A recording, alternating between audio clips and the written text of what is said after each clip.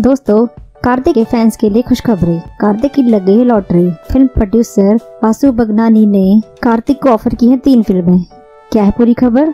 चलिए आपको बताते हैं। दोस्तों बॉलीवुड अभिनेता कार्तिक एक ऐसे एक्टर हैं जिन्होंने बिना किसी शोर शराबे के इंडस्ट्री में अपनी जगह बना ली है। पिछले दिनों करण जौहर की फ़िल्म दोस्ताना दो से बाहर निकाले जाने को लेकर चर्चा में रहे हैं।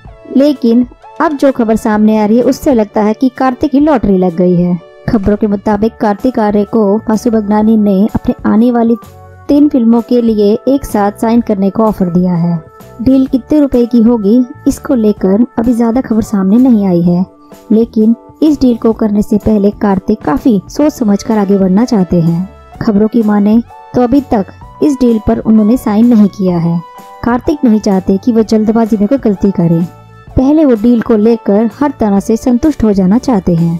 दोस्तों आपको बताते चले, कार्तिक आर्य कुछ समय पहले उस वक्त विवादों में आ गए थे, जब करण जौहर ने उन्हें अपनी फ़िल्म दोस्ताना दो से बिना किसी कारण बताए बाहर का रास्ता दिखा दिया था। इस फ़िल्म में जानवी कपूर उनके ऑपोजिट दिखाई देने वाली थी। चर्चा ऐसी भी रही कि जानवी की वजह से कार्तिक को इस फ़िल्म से हटा दिया गया था।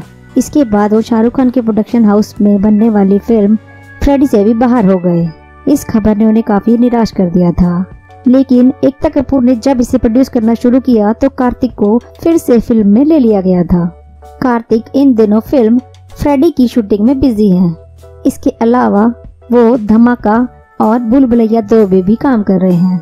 वीडियो अच्छा लगा तो इसे लाइक शेयर और हमारे चैनल को सब्सक्राइब करें। ऐसे ही नए बॉलीवुड अपडेट्स देखने के लिए। Thanks for watching